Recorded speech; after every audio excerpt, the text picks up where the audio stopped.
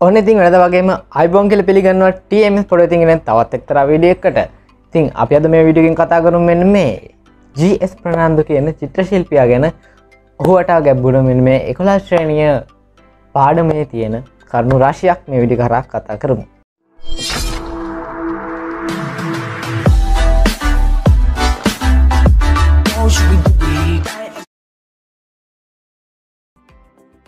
චිත්‍රෝලේ ගන්න YouTube ටමස් පොඩ කියල සොච් පරත්දාලා දැන්ම අපි සබ්ස්ක්‍රප් කරතියාගන්න අනිවාරෙන් ඒක.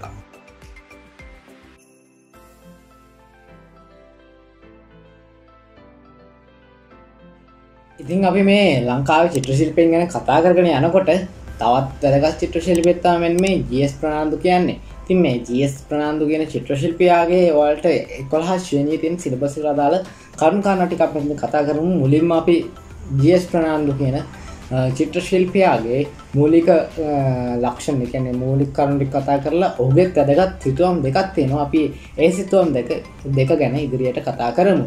තිං මුලින්ම අපිට මේ මුහු ගැන කතා කරන්න තියෙනවා. ඉතින් කතා කරොත්තේම ජස් ප්‍රනාාන්දු කියන්නේ වර්ෂය එක්දස් නමසේ හතරේදී බෙන්තර සුද්දා ගොඩපොත ලැබූ ජස් ප්‍රනාාන්දු හෙවත් ගම්වාරී සරත් ප්‍රනාන්දු දියසායම් චිත්‍ර කලාවේ ශිල්පිය ප්‍රවණතා පෙන්නුම් කළ ප්‍රකට චිත්‍ර ශිල්පය වශයෙන් අපට හඳුනාගන්න පුළුවන්.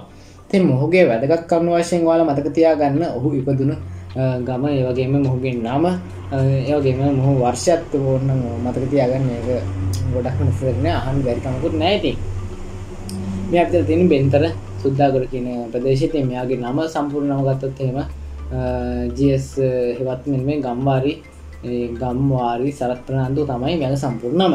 තිං මතකතියාගන්න ඕන මෙයා ඇතරම දියසෑම් චිට්‍ර ශිල්පයක් කියලා අනිවාර ඒ කරුණු මතකතියාගන්න තිං රිචඩ් හෙන්ඩ්‍රිකස් යටතේ චිත්‍ර කලා පිළිබඳ අධ්‍යාපන ලැබූ ඔහු පලමු බිදුසිතුවම් කලාවට ප්‍රවේශ වූ චිත්‍රශිල්පියෙක්ද වෙලා තියෙනවා.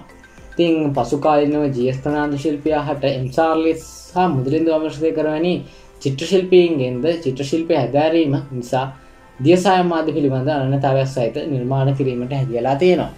තින් මෙයා ඉගෙන තින මෙ එම්සාලිස් දගේ මුදනිදු ඒසිජය සමරසකර කිය චිත්‍ර ශිල්පියගෙන්නුත් ඉගෙනගෙන තියෙනවා. ඒකත් ඇත අදුට මතක තියාගන්න. ඉතින් කාටුන් චිත්‍ර කලා පිළිබඳ ප්‍රවේණතාවයක් පෙන්නු ජස්ත්‍රන අන්දු ලංකාව ප්‍රථම චිත්‍ර කතා නිර්මාණය කන ලැබු ශිල්පිය අද වෙලා තියෙනවා. තින් මොහු පොඩක් කාටුන් චිත්‍ර ශිල්පී චිත්‍ර ශිල්පිය චිත්‍ර කලාවටත් එම වෙලා තියෙනවා. තින් මොහු තමයි ප්‍රථම චිත්‍ර කතාව නිර්මාණය කරලා තියෙන්නෙත් ලංකාවේ. තිං වෙළඳ චිත්‍ර චිත්‍ර ශිල්පියකු ලෙස ඔහු පෝස්ටර්ලේ බල් පොත් පිටකවර නිර්මාණය කිරීමට දායක වෙලා තියෙනවා.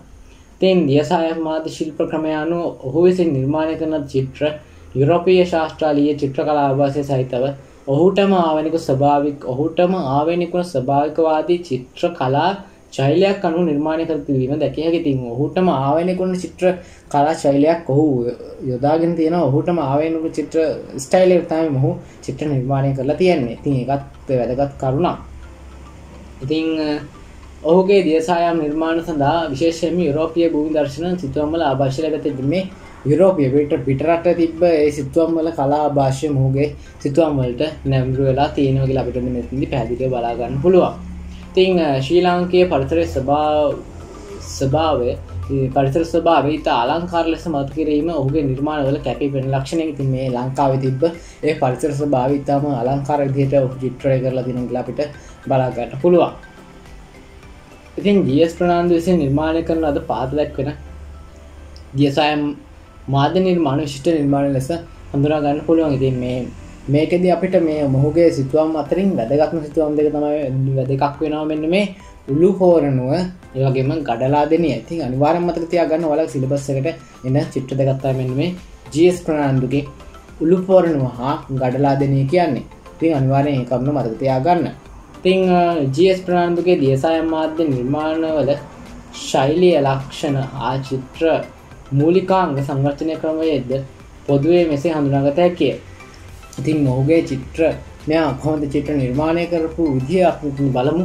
තින් මේ කරුණු කාරණාන අනිවාර්යෙන් මතක තියාගන්න ඕන. ඉතාම වැදගත් කරුණු ටික තින් චිත්‍රය ගැඹුර හා පර්යාලෝක ලක්ෂණ නිරූපණය. තින් මේ චිත්‍රය තිබ්බ ගැඹුර වගේම ඒක තිබ්බ මෙන්න මේ පර්යාලෝක ලක්ෂණ ඉතාම නිවැරදිව භාවිත කරලා තියෙනවා. ඒවගේම මිනිස්සිරියාව ලාලිත්තෙන් හා හැඟිම් ප්‍රකාශනයෙන් යුතුව නිර්මාණය කරලා තියෙනවා. තින් මේ මිනිස්සිරියාව ඒ ලාලිත්තෙන් වගේ හැඟිම් ප්‍රකාශන දේ තමයි නිර්මාණය කරලා තියෙන්නේ. ඉතිං ත්‍රිමාන් ලක්ෂණ සහිතව දීප්තිමත් වර්ණමාලා භාවිත කරතින තුන් 3D විදිහට. යාම දීප්තිමත් වර්ණමාලා භාවිත කරලා තියෙන තින් ඒක අනිවාර්යෙන් මතක තියාගන්න. මොහුගේ සිතුවම් වල තිබ්බ මූලික සංරචන ක්‍රම වශයෙන්. තින් අපි කතා කරමු දැන් මොහුගේ ඉතා වැදගත් සිතුවමක් වන වනමෙන්නේ උළු පෝරණුව කියන සිතුවම ගැන. තින් උළු පෝරණුව ගත්තොත් එහෙම ඔයාලට මේ සිතුම් බලාගන්න පුළුව මේක කොහෙදී හෝ දැක්කොත් එහෙම අනිවාර්යෙන් මතක තියාගන්න. මේ තමයි ජස් ප්‍රනාන්දු කියන චිත්‍ර ශිල්පියගේ උළු පෝරණුව ගැන චිත්‍රය කියලා. තින් උළු පෝරණුව ජාතික කලාභවනය නිත්‍ය ප්‍රදර්ශනය තබා ඇති මෙම සිතුවම යුරෝපිය ස්භාවිකවාදී ශෛලී ලෙස දැක්වෙන් නිර්මාණයක්නීර යුරෝපයේ තිබ්බ ස්භාවිකවාදී කලා ලක්ෂණ දැක්කෙන සිතුවමක් වශයෙන් අපිට මේක හඳුරාගන්න පුළුවන්. ඒවගේම කඩදාසී මත දියසායම් මාධ්‍ය කරන ලද නිර්මාණයකි. ඉතිං ඒවගේම තමයි මේ දියසායන් වලින් කරලා තියෙන කඩදාසියක් වල. ඉතින් ඒ පේපවල සමන දියසායම් වලින් මාධ්‍යා නිර්මාණය කළ තියෙන්නේ. තින් චිත්‍රය දක්වන උළුපෝර්ණුව හා අවට පරිසරය චිත්‍රණය කිරීමේදී දීත්තිමත් වර්ණමාලාවක් භාවිත කළ තිනවා ඒ කරුණු අනිවාරෙන් මතක තියාගන්න. ඒවගේම තාමෙන් මේ ත්‍රිමාණ ලක්ෂණ සහිතව දියසායම් පදස ක්‍රමයට ප්‍රකාශනාත්මකෝ දක්වා ඇත. තින් මේ පදස් ක්‍රමතායි ඉතාම් ප්‍රකාශනාත්මක මේ සිතුම නිර්මාණය කරලා තියෙනවා. ඉතිං තලය මත රූප සංරචනය කිරීමේදී පෙරබිම මැදබිම හා පසුබිම මත රූප පිටුවීම චිත්‍රය ගැමුරහා පර්යාලෝක ලක්ෂණ සහිත නිරූපණය කරලා තියෙනවා. තින් මේකදී අර මේ දක්වලා තියෙන තියෙන ඔබ්ජෙක්් ටික හරියට නිරූපණය කරලා තියෙනවා මෙන්න මේ පෙරබිම ඊට පස්සේ මැදබීම ඊට පස්සේ පසුබිම. ඒක දක්වලා තියෙනවා පර්යාලෝක රීතින් වලට අනුගතව. තම හොඳින් දක්වලා තියෙනවා ඔයාලට මේ සිතුවම දැක්කට පස්සේ ඒක ඉතාම පැහැදිලිව පේනවා ඇති. ඉතින් මෙම නිර්මාණය සඳහා ස්භාවිකවාදී ශෛලිය ශෛලිය ලක්ෂණ හා යුරෝපිය භූමි දර්ශන සිතමල ආභාසය ලැබිය ඇති බව දැකිය හැකිතින් අර මුලින්ම කතා කරපු කරුණු කාරණා වගේම මෙ මේ ශෛලී ලක්ෂණ හා යුරෝපිය භූමි දර්ශන සිතුවම විට මේකදී දැක්ුණා කියලා බලාගන්න පුළුවන්. තියකත් අනිවාරෙන් මතක තියා ගන්න තෙන් අපි දැන් කතා කරු මෝගේ තවත් වැදගත් සිතුවමක් වන මෙනුවෙන් ගඩලාදනයගෙන සිතුම ගැන. ති මේකත් ගත්තර පස්සේ තාම මාරම ලස්සනයි. අර කියන දීප්තිමත් වර්ණ භාවිතය මේකෙදි පැතිල බලාගන්න පුළුවන්. ගඩලාදනය ගැන්නේ මෙන්න මේ සිතුවම. තින් මේකෙදී මම දැංකයෝගේ මුලින්ම මතකතියා ගන්න මේකෙදි දීප්තිවත් වතුර වර්ණමාලා භාවිත කරා කියලා.